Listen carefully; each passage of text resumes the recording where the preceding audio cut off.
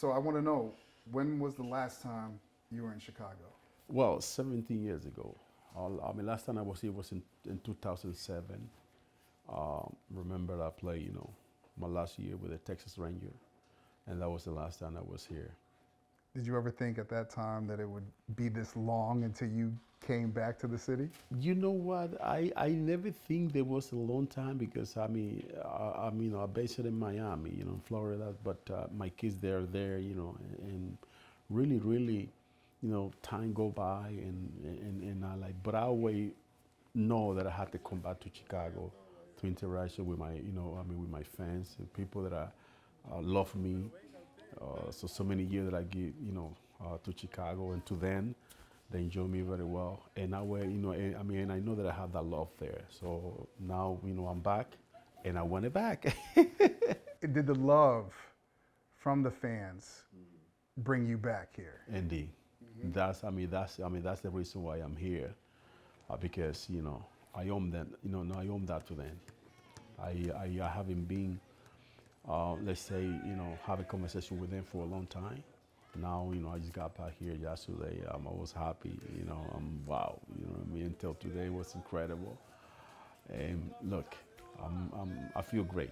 I feel good. I feel like, uh, wow, you know, this is, this is it. I got to ask this question because I know everybody wants to know. What is the day in the life like of being Sammy Sosa? Just walking around. what, what's a daily routine for you? Well, um, um, when I'm, you know, I, I pray a lot. Uh, I, you know, I pray four or five times a day.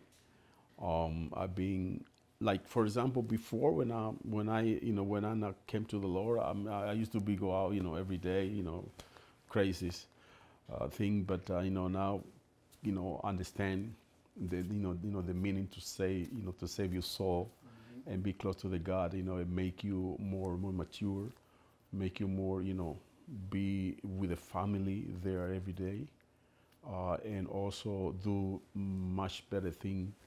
Uh, you don't have that ego anymore. You know what I mean? You're just humble, man, and, and, and more humble because I've always been humble. But uh, and the thing that I want to uh, give you, you know, I'm not interested anymore.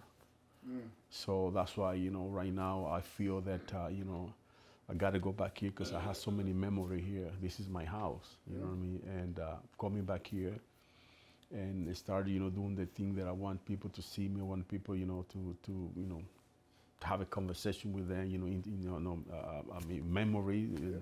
and that's and that's why the reason why I'm back here. I think about it just uh, this morning, first time getting a chance to meet you, and you walk into Shriners Hospital. Your son's with you. I know you're a family man, uh, and for a kid who had a, a father who played professional sports from 80 to 87, I didn't get a chance to see him a lot. So, what is it like now in retirement for you in being closer to your family? It's incredible. You got a good point because I mean, when I was playing every day, I don't have that time that every father had be there with a kid every day, and uh, I missed that. But I had to also, you know, I have a job to do and responsibility, so I had to be there consistently, especially in the level that I play, that I, I mean that I play. So now I stay home all the time. I wake up about 5:30 in the morning. Uh, uh, you know, you know, I mean, I, you know, you know, I, you know, I prepare the lunch for my kid. You know, and pretty much, you know, oh yeah. you doing lunches? Oh yeah. To my kids, yes, yeah, oh yeah. You know, me because I mean, I want to stay home because I mean, I stay home. And you know, at least I want to see them to see me every day. Yeah. And for me, because I mean, doing that is like getting back. If I know was there, but now I'm I'm, I'm here. So mm. and, and pretty much, and also my wife, which is you know, with me for 34 years. So she, I mean, happy wife, yes, happy life. Yes, indeed. That indeed. Is, that's it. You, you talked about the memories, and we'll get into that. But I, mm. I got to get that that feeling when you stepped off the plane in Chicago. Did those memories just trigger right away? Right and away. Also, you know, you know, I mean, right out of the plane, right there. You know, I never see a thing like that. It, it, you know, I have about 20 guys waiting for me to sign right out of it. I mean, I'm like, I never. I mean, outside it's different, yeah. but right away, I'm like, whoa, you know. They, they, they bought plane tickets to come in just to be just, able to. Just to be able to for me to get the first one.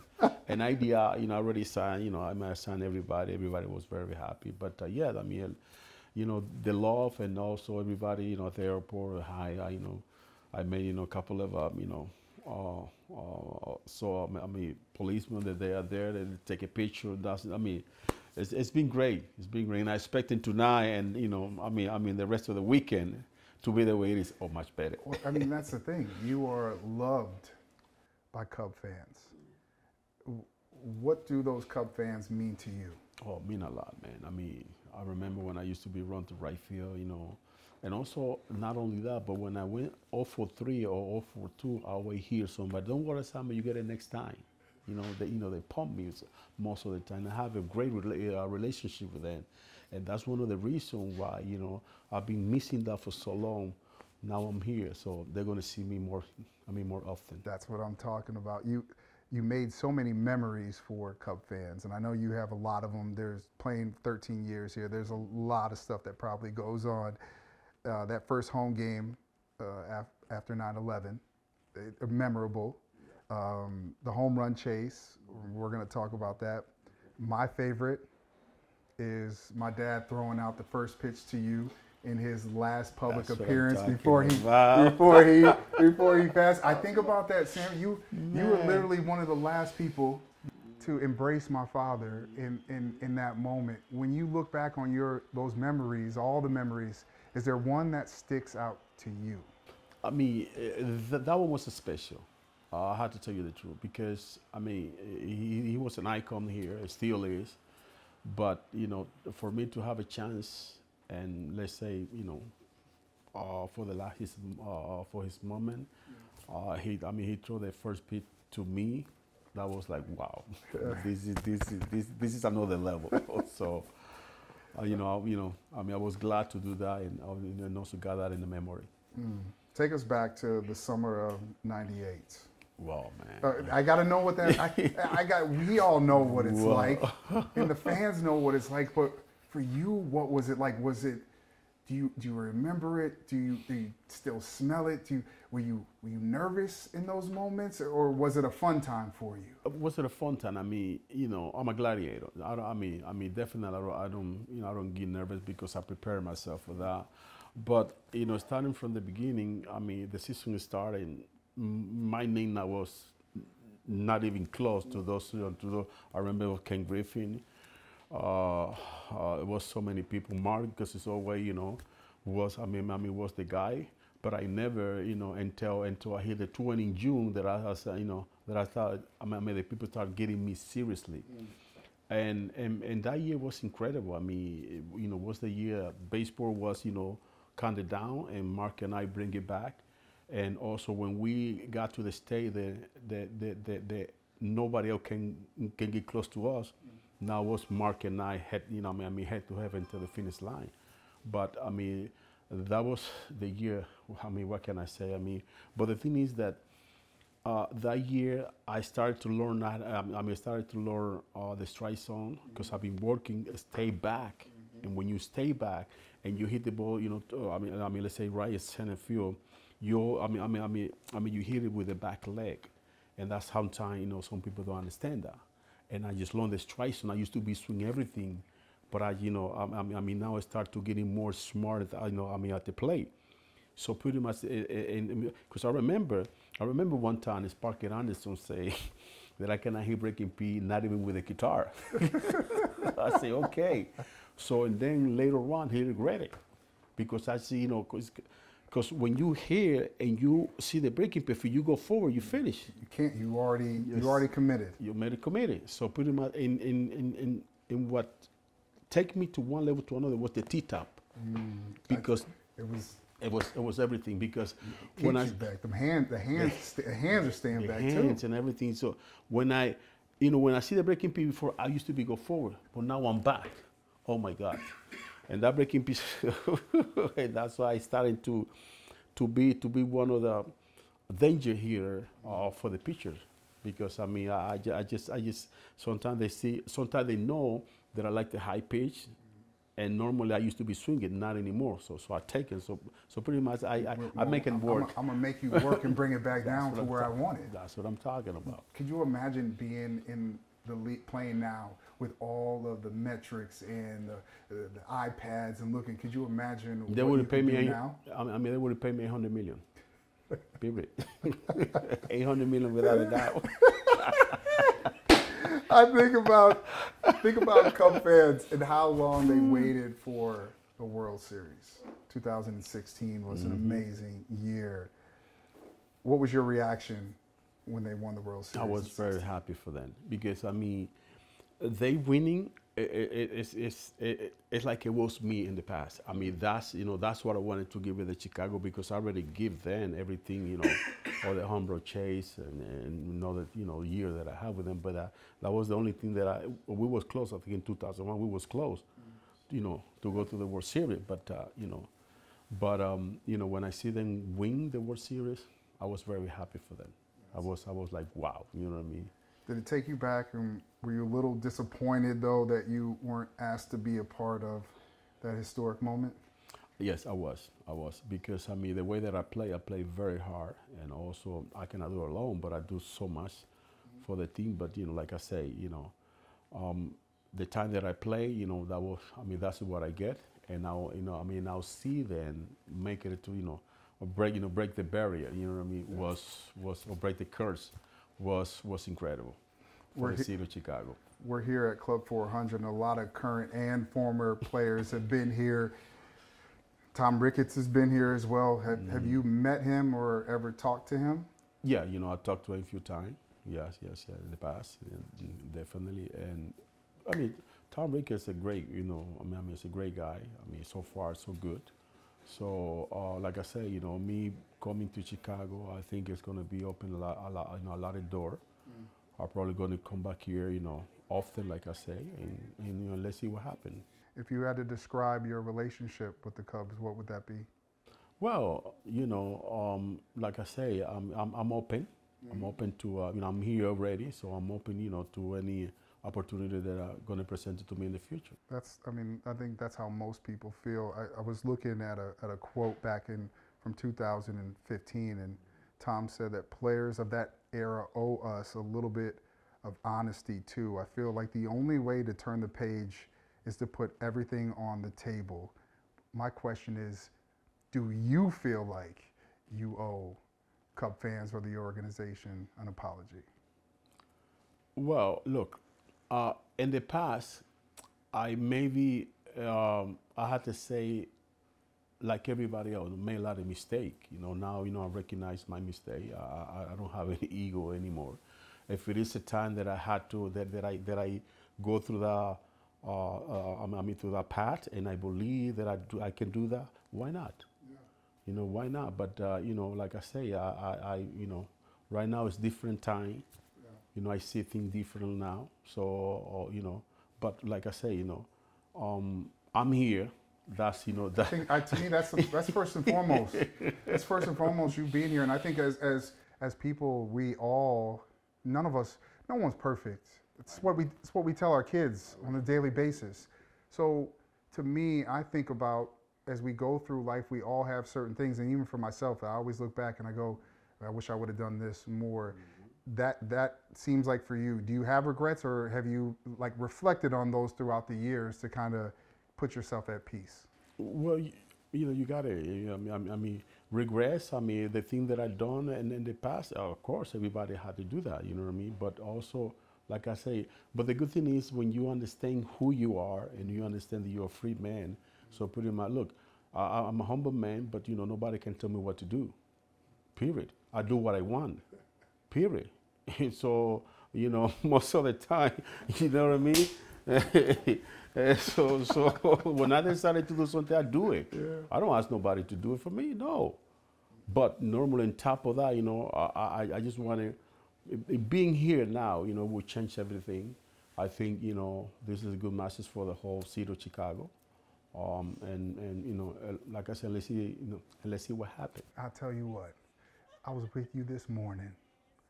You know how many people I heard come up to you say, Man, we just want you back. I heard it so many times. I was on the, I literally did not want to get in the shot with you because I just wanted to follow you around to watch what people were saying. What would it mean to you for the Cubs to welcome you back? Time, I mean, time will determine everything. I'm here now. This is the first step. I believe so.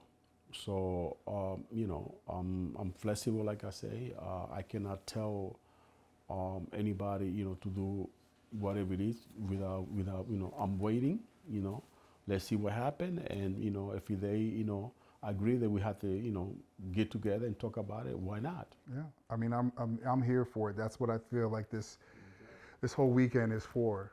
Um, I think it's going to bring back these good memories. I think people, it gives opportunity to open up the door, and rightfully so, because in my opinion, you, you need to be back.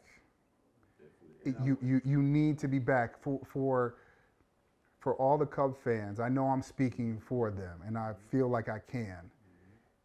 You need to be back, and you deserve to be back for what you've done for this city, what you've done for Northside fans. Um, it, it does. It just. It's there's certain names when you name them with organizations. You can't mm. can't say the Bears without Walter Payton. You just can't do it. You can't you can't say the Cubs without Sammy Sosa. You just can't do it You cannot scratch it from the board. you can't. you cannot. You hit what 545 home runs as a Cub, franchise record. Only player in MLB history to hit 60 or more home runs three times. Do you feel like you deserve to be in the Hall of Fame? Look, uh, I do, because the number don't lie. But, you know, this is my Hall of Fame, my people. You know, a lot of Hall of Fame have a plaque in the Hall of Fame, but they are, you know, there are nowhere to be seen. Uh, the love that I'm getting every day and what I done in my career, that's good enough. You know, uh, someday if it happen, fantastic. But if it don't happen, it's okay because I'd rather to have a Hall of Fame in heaven they have a Hall of Fame here on earth. do you think uh, at, throughout the process, throughout the years, do you feel like you've been treated unfairly, or do you? You know, I'm a gladiator. I don't complain. I, I really don't. I'm not that type of person that uh, you know what I mean. Gonna sit back and relax, and because you say something to me, uh, no, no. I, I'm I'm I'm taking one day at a time, and I believe that uh, you know I have people that see me play many many times when I was playing here. They see that I give it my heart every day. If somebody wanna say different about that, it's okay with that because it's a free country. But you know, I'm not going to be pointing finger. I'm not going to be saying, "I do this, I do that." I want you treat, I want you to treat me better. No, no, no, no, no, no, no. I'm living my own life. I'm a free man. Well, speaking of the Hall of Fame, there's the you were on the the Cubs Hall of Fame ballot last year. Um, I know you were talking about. Do you feel the exact same way about the Hall of Fame? Then what would it mean to you to be into the Cubs Hall of Fame as well? Well, you know, uh, like I said, I think the time will determine everything. Um, for me to come here to Chicago now and be here, show my face, knowing that I, you know, I want to, you know, have a, you know, I want to make a step. I believe, you know, that that's, you know, going to change any, you know, anybody's mind. So I don't have any, you know, I mean, any, you know, I mean, any regrets. I'm here. I'm available. I'm flexible. If it, that happens, well, fantastic. But if it not, you know, we got to move on. Definitely, I want to be here because my numbers are here. Mm-hmm. I made my number here in Wrigley Field. That wasn't another team. You made your So, you made your, my you cre- legacy. You created your legacy here. Here. So, so pretty much, there's, there's, there's no reason why, you know, I make, you know, I did so much uh, for the city of Chicago when I was playing, uh, you know, I mean, the organization, that for some reason you're going to scratch me from the board for what? There's no, you know, I, I, I don't, I mean, I mean, I don't see like uh, it it is, it is the right decision. I'll tell you this from a young man who did not grow up watching baseball, did not like baseball, wouldn't watch it on TV, that home run chase made me tune in every day. You said you you were a part of saving baseball. For a young man like myself, I tuned in just to watch you and it, it to now it's just come full circle now that I'm I'm sitting across from you now from a kid that used to watch you on TV. Now I'm on TV. I get a chance to be able to do what I'm doing now. So to me, this is still kind of crazy. I want you to answer this last question. Give it some thought because it's just what we were just talking about. When it comes down to it, at the end, what do you want your legacy to be? Well, you know, my legacy, if, first of all, my legacy is already done. I already do my numbers. That's the first thing. Uh, the me communication or the sitting with somebody else, that's something else. But believe it or not, like you say, um, hopefully everything that I'm thinking about, you know, coming back to the organization is a great opportunity. I believe so. Uh, that maybe one day we're going to sit down and talk about it. I believe so. But my number is, you know, I mean, I mean, I mean, speak for myself. Really, really, really. I mean, believe it or not, uh, my legacy is here. That's what I want to continue coming back here because this is the city that gave me opportunity. You know what I mean? This is, you know, they give it to me and I take advantage of that. You know, they don't hand it to me because, you know, I was a pretty boy. you know, I had to work hard for that. You know what I mean? My number's there. Even people they not agree sometimes in what I was doing or they not agree sometimes because I mean I was better than them, it's okay. But my number is here. My number is not in, you know, in another place. It's here. So we have to find a way to come, you know, or to the table and talk about that because I mean, you know, you're gonna, you know, this is this is too big to just to wipe it up, you know. So I believe that uh, you know, I believe that uh, you know it's gonna happen. God is working on it.